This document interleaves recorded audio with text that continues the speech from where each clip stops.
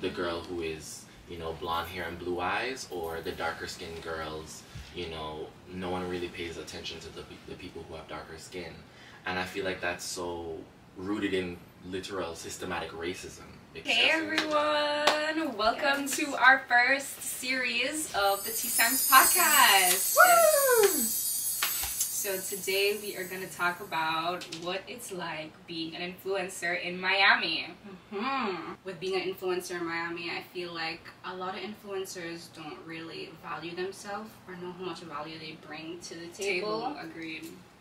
Especially personally, I feel like if you are in the industry for some time, I feel like you learn more and grow, and a lot of businesses don't look and value or see those things when they want to work with an influencer. influencer. Yeah.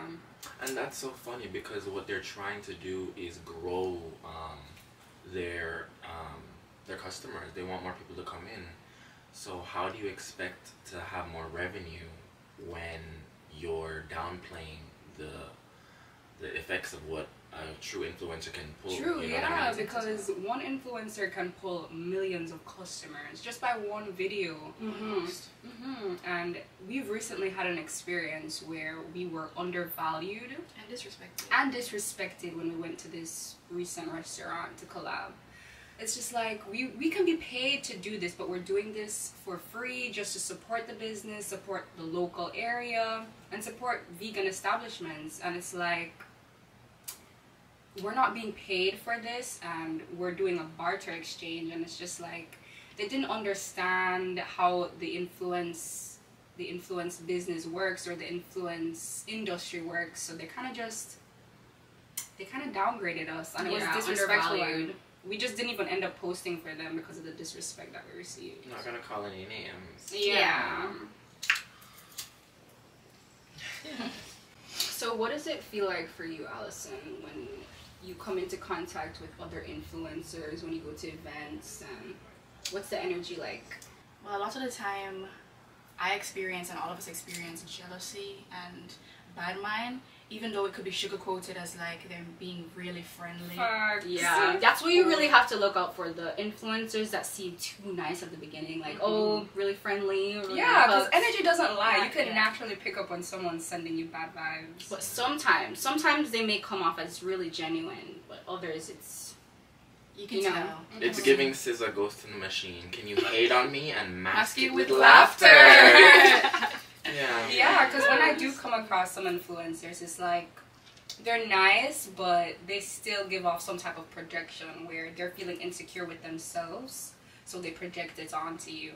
Especially when we come around influencers who have their significant others around them. Ooh, it's just like I don't want to overstep any boundaries. I kind of keep eye contact when I'm talking to one or Yeah, and it's like sometimes when I feel like I do come around an influencers that are couples, you feel like you'll have to downplay yourself because mm-hmm. you feel that way and you start to think like why why do I feel like I have to reserve myself just to make someone else feel better. Yeah, like that's not fair to you at all. Yeah. It's insecurity in themselves. And what's so limiting with that is the whole gist of why you guys even collaborated was to actually create like a I don't know, like a um, a community. Exactly. Yeah, mutual community. That's mm-hmm. exactly. So how would you expect for that to grow when you're so caught up in paying attention to the trivial things like physical appearance or what you can That's offer? You know. Mm-hmm. I don't know. It, it's like you should look past that. Eh, no matter how, um, no matter the the darkness. Yeah, or the negative thoughts that come up because it's natural for all of us to get intrusive thoughts. Like that's normal, but you put those put those things aside and focus on the goals, like and the task at hand. Yeah, the task at hand, like, and being present in the moment, like enjoying it. When you go back to the moment of just being in a space with other like-minded individuals, it shows you and it shows how much you're capable of together when you're thinking of joining together and not thinking of yeah um, separation or individual lack. Because mm-hmm. if you feel like what that's another thing that comes up when I'm around people. It's like they feel this so some sort of some sort some sort of a lack within themselves and then they start to focus on the negatives. Like okay something something has to be off right here in this moment. So let me focus on the negatives or let me bring up something to trigger them. And then that's when they start to show signs of projection like and that is literal um, depiction of the matrix. It's mm-hmm. showing you all the parts of yourself that aren't really you but more a vibration that a lot of people resonate with because a lot of people love to um, to get caught up in the fast life. And it's also energy vampires that feed off of the negativity that they bring you. Mm-hmm. Mm-hmm. Discuss that first. What is an energy vampire? Well, in my opinion, I would say an energy vampire is someone that is very selfish with trying to grasp the energy within the room because they want attention or just they want to feel some some emptiness inside of them that um, they're looking for in other people.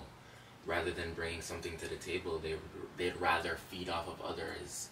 And it's like there's ne- it's it's never enough. Mm-hmm. it's just they just want more and more until they feel self-satisfied. It's like greed and gluttony exactly. mm-hmm. and it, it never it's just never enough. It's never enough. And you can always tell with the things they talk about with body language with how um, just like how they project their energy onto you, and you can feel it too. Um, yeah, yeah, you you really feel like you're surrounded by an energy vampire when you go home, and you feel extremely drained, and you don't feel fulfilled, and you mm-hmm. don't feel like motivated to do something new or work on like your goals or to do better. Like as influencers, we experience coming in contact with a lot of energy vampires. Sometimes it's hard for us to like find genuine connections because some people are so caught up in different things that we don't align with or low vibrational things that are draining. Like you said, they're energy vampires. So. And sometimes I feel as well, not to cut you off, mm-hmm. but um, it's like you, after a day of hanging out with some of these people that they're so your so-called friends or um, acquaintances, it's like you get these thoughts and you're wondering where these thoughts come from because you've never thought of these thoughts have never come into you've never thought of them before so it's like where are these thoughts coming from that are so dark mm-hmm. you know yes. or it just it's not resonant you know especially in public settings like even going to the grocery store or being in school because i'm still in school yes. being in school being around so many different energies and coming across and encountering different people that are unsure of themselves and their energy, their energy, they you can just already feel the feel it rub off on, on you. It's yeah. complete projection. Mm-hmm. And, and yeah, and I feel like all of us being empaths, we feel a lot of people's energies. So it's like we can walk in a room and we can know when someone's feeling off or something's True. going on. And you can so. also tell when someone is very confident in themselves people instantly like the whole room's attention would just draw to them because mm-hmm. people can pick up energy and energy vampires can pick up energy when you are what i like to call it is uh, a battery, a social battery, and people love to feed off of social batteries. yes. You know, like literally just feed and off. That's what we are. Yeah, you can tell. Of course. You consider we are social battery. Of course. Like well, as soon as you step in the room, and it's not even to gloat or or toot our own horn, but when you're sure of yourself and you know who you are and what expression you are, um,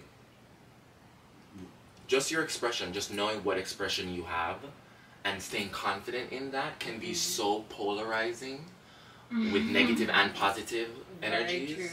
That it throws people's energetic fields off guard. Yes. Like that's what happens sometimes. We'll step into a room and because the energy is so off, it'll it'll f up someone else's feel, their own feel, and they don't know what to do with themselves. So they they start to act weird and mm-hmm. they start to just mm-hmm. project and look weird. And Yesterday we went to the lake, we went to the park, and we were doing TikTok dances, and our energy was super heightened, and there wasn't that much things going on. But after our energy was like we were dancing, the energy was right nice. people started surrounding us. Like random people just started coming around the area. They were like wondering what was going on. Trying to get into just the TikTok. They want- they yeah, wanna- they were trying to get the TikTok. they want to join our energy because it feels Yeah. good because Yeah. it's genuine and it's literally just tr- us trying to be ourselves and enjoy what we're expressing Yeah. literally and once you know that you like what you're doing i'm telling you that is yeah, so That type powerful of energy is magnetic. it's Yeah, very it's magnetic. magnetic, That's the yeah. word specifically. Mm-hmm. The girl who is, you know, blonde hair and blue eyes, or the darker skinned girls, you know, no one really pays attention to the, the people who have darker skin. And I feel like that's so rooted in literal systematic racism because it's it's deemed that if you are darker skinned, you're not as worthy as a person who has lighter skin or lighter eyes or um, blonde hair. You know, it's all just erasing the culture or the color within humanity.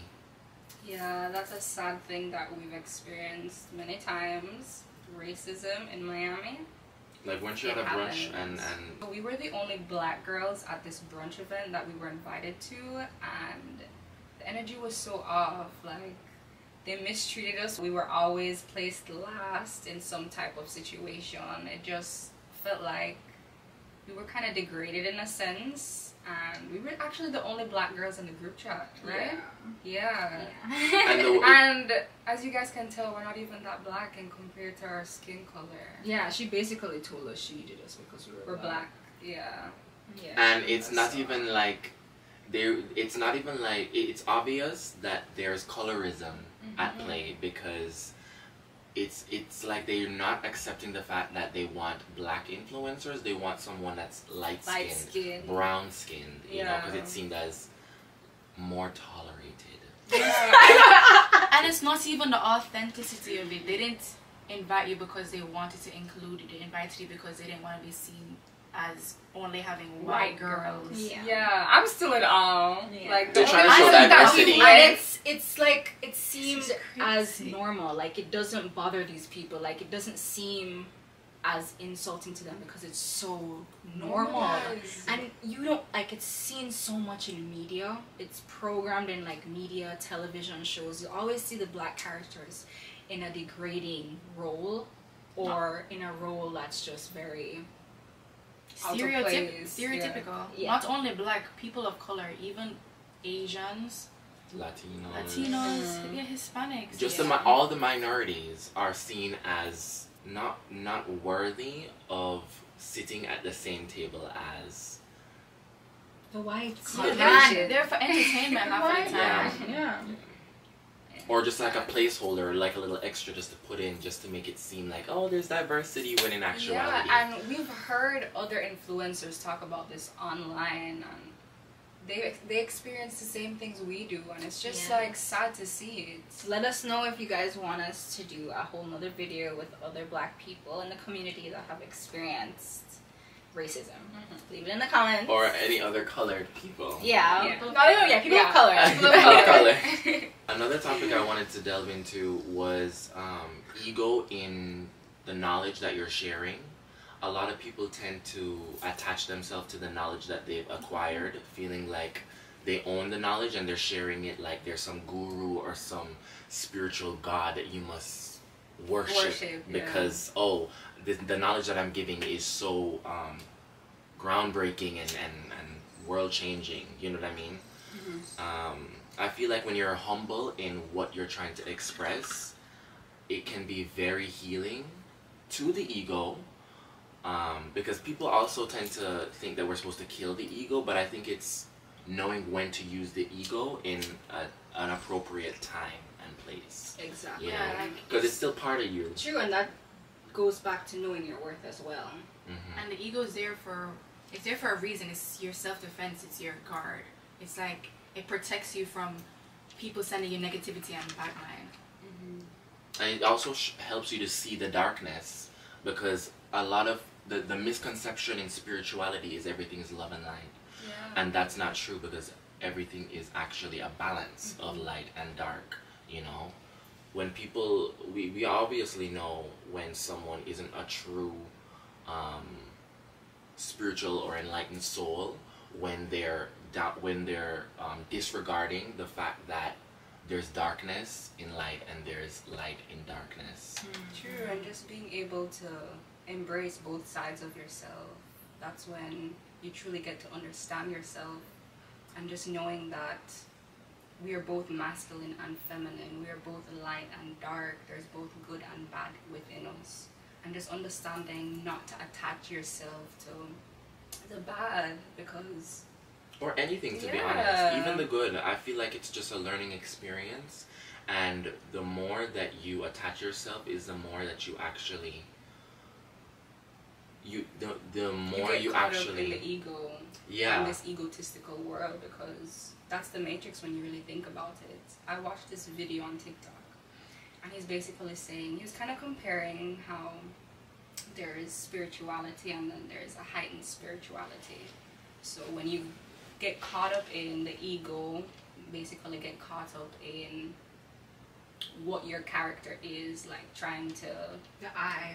heighten the character, whether it's comparing yourself to someone, shaming someone, putting them on like on a pe- pedestal. Mm-hmm. That's when you get caught up in your world.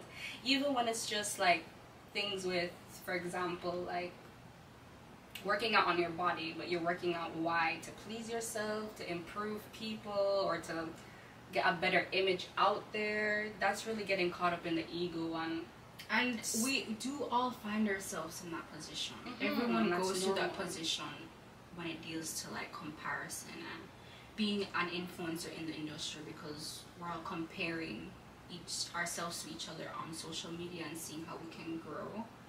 But when it is that we do find ourselves going into that position, we find ourselves becoming a part of the society standards. And that's when we start to lose our true nature of self and why we came here on earth to really grow as an individual while being able to accept and love others individual expressions. So that's another dark side of the influencer lifestyle in miami just the comparison and the models trying to do the same thing and follow society's standards of what is cool or acceptable Yeah, it's because like everyone, we all have our own avatars, which are our own,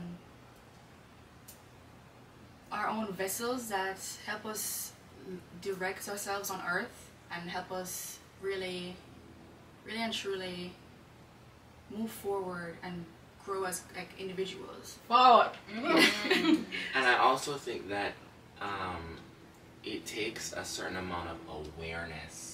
Awareness is everything because once you're aware of um, the ego trying to take over um, uh, an experience or a situation, then if you have enough awareness, you can know when to stop and pull back and knowing when to use it in the right place and time. It's all about, it always goes back to awareness and how much awareness you have in the moment. Yeah, because many, many influencers get caught in the physical and they try their very hardest to look alike and all try to go for the same appearances of what they think is deemed as beautiful or what they think will please man. based on society standards. The And male gaze, yes. opinions. The male, the male gaze, definitely. Yeah, what helps me to not get so caught up is meditating, just going back to yourself, taking some deep breaths, and just detaching Yeah, stepping outside. and grounding yourself. Nature, nature is so important because we're all put in these boxes from the born. We're in school, we're in the office, nine to five. Like, how much time do we really find ourselves connecting back to nature? To touch some grass. Yeah, Exactly. going to the some beach. The beach is so healing for you guys. I love going to the beach. So what? no, I but know the dark side of uh, the influencer world is how women and men are sexualized in the industry. Personally, Alena and I used to do music videos. That's kind of how we started growing our page and getting out there. And when I really look back at it now, I wasn't as conscious as I was then. But we were kind of sexualized in a way, and the woman, everyone on set was sexualized, whether it was the clothes they were wearing, how they were interacting with the artist or the art- artist's music, and How it was edited. how it was edited, the like moves, the, the, yeah, everything, and it's just in a degrading way where it doesn't really uplift the woman and how graceful and powerful women are Yeah. and It's even like women are seen as objects. yeah, Yeah. and it's so sad because women are God. Woman is God. Woman is a wo- God is a woman. Mhm. Like and woman, exactly. A But- balance, more of a balance, I'd say, course. because you, it, it, it's not, it's on neither side. God is more gender neutral, but the thing is, I feel with that specifically because the masculine energy in this modern modern day and age has pushed um, the woman as more seen as objects or things that are just like placeholders. You mm-hmm. know, like women are made to cater to men when in actuality it's supposed to be a unity in creating that, that's literally how you get to god is unity a balance you know Yeah, and I feel like currently the toxic masculinity is way more heightened than the divine femininity. So there's a imbalance, and that's why there's so much. I feel projection and men just wanting and sexualizing women and putting them not even like not even having them just degrading them overall.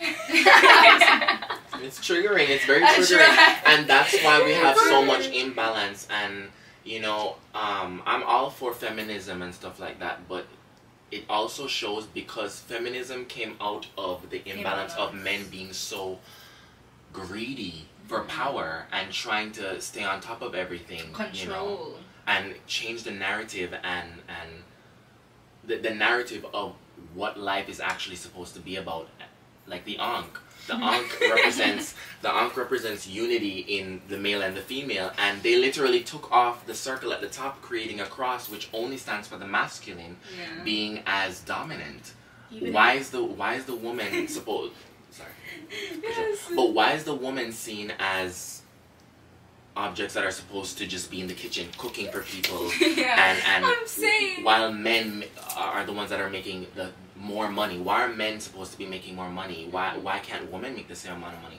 why can't we just have equality you know even in Christianity it says the Father, Son, and the Holy Spirit. Where is the woman?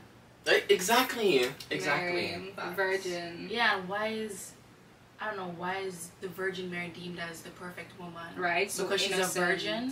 Yeah. And wasn't she fourteen? questions. Questions.